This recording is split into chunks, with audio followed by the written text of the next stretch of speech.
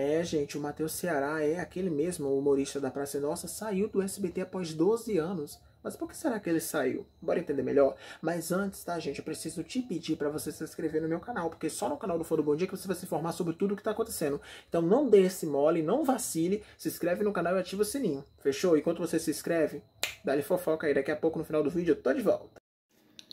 Gente, o Matheus Ceará deixou o SBT após 12 anos no elenco da Praça Nossa. Eu nunca gostei muito do Matheus Ceará no, no Praça é Nossa. Mas depois eu falo o motivo. O humorista Taditi anunciou sua saída após uma década de risadas e momentos memoráveis no programa. Em um comunicado, Matheus expressou sua gratidão ao lendário apresentador Carlos Alberto de Nóbrega e equipe do programa, enquanto compartilhava que a decisão de partir foi extremamente difícil.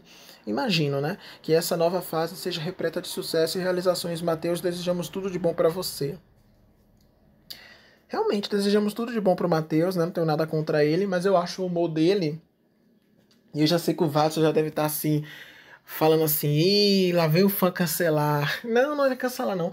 Eu só acho o humor dele um humor meio bobo. Porque o humor dele é pra fazer piada com gay, fazer piada com, com mulher gorda, fazer piada sexual, umas coisas assim meio ultrapassadas que eu acho que não é, não é mais cabível hoje em dia. Claro que pessoas que não estão nem aí para isso, como é o caso do Watson, né?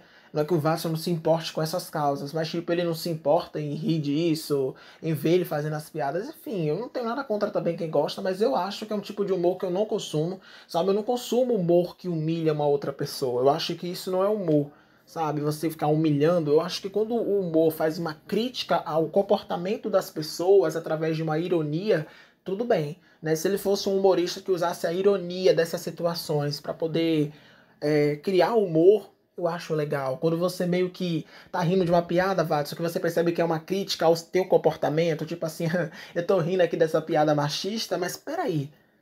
Essa piada me faz refletir como eu tenho péssimos comportamentos, sabe? Como eu faço isso também. Então eu gosto quando a piada meio que nos critica.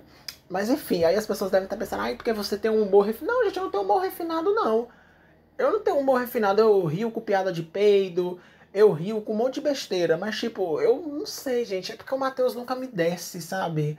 Nunca me desce assim, eu fico incomodado. Não tenho nada contra ele, sabe, Vaz? Eu não tenho nada contra ele, eu não tenho nada contra a carreira dele, mas eu acho a forma que ele faz piada uma forma meio ultrapassada. Mas aí é uma opinião pessoal minha e lembrando que cada um tem o direito de achar o que quiser, né?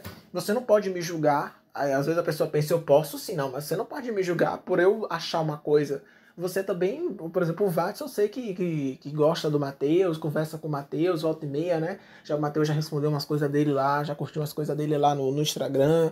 O Watson posta, fica feliz. Então, tipo, eu entendo isso. Só que eu.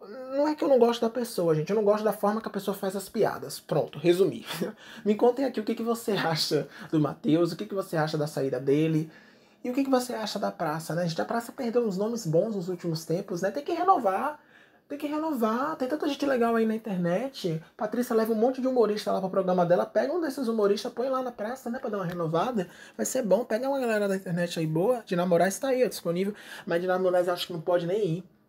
De nada tá, tá, tá com o bebê de colo, né? Mas enfim, tem um monte de humorista legal aí na internet, só dá uma olhada. E aí, gente, o que vocês acharam de tudo isso? Comenta aqui embaixo que eu tô muito curioso em saber a sua opinião. Um beijo, a gente se encontra em breve. Valeu, tchau!